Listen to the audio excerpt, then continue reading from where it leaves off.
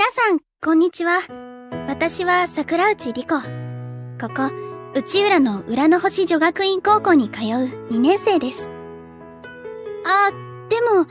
この内浦に私がやってきたのはつい最近、2年生に進級した春のことで、それまでは東京の秋葉原に住んでいたの。それが、お父さんの仕事の都合で引っ越ししてきて、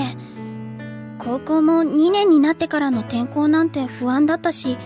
しかも、それまで住んでた秋葉原と内浦では、環境もすごく違っていて、初めは戸惑いました。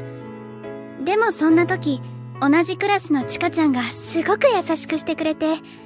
実はその裏には、私をスクールアイドル活動に引き込んで、一緒にアイドルさせようっていう計画があったなんて、全然知らなかったけど。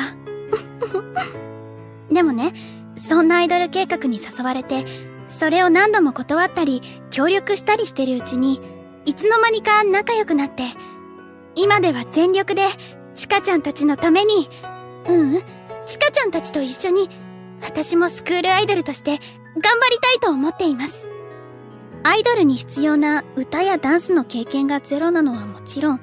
都会から引っ越してきたくせに、全然おしゃれでも都会的でもない私が、